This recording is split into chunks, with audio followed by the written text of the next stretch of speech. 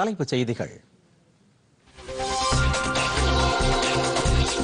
புத்தரின் பக்தி மார்க்கம் அனைவரையும் ஒரே குடும்பத்தைச் சேர்ந்தவர்களாக பிணைத்துள்ளது. நேபாளத்தில் புத்த பூர்ணிமா நிகழ்ச்சியில் பிரதமர் நரேந்திர மோடி உரை.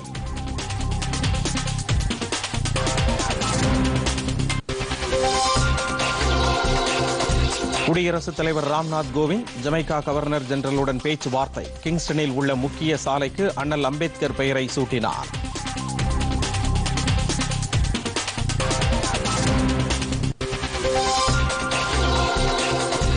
எழுபத்தி ஐந்தாவது கேன் திரைப்பட விழா இன்று தொடக்கம். மத்திய அமைச்சர் அனுராக் சிங் தாகூர் தலைமையிலான இந்திய குழுவுக்கு சிவப்பு கம்பள வரவேற்பு.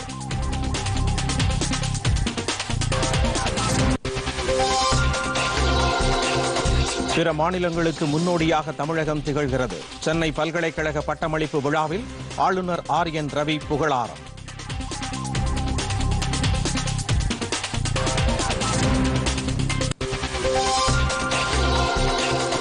இளையோர் உலகக்கோப்பை துப்பாக்கி சுடும் மகளிர் பிரிவில் இந்தியாவின் கௌர் சம்ரா தங்கப்பதக்கம் வென்றார்.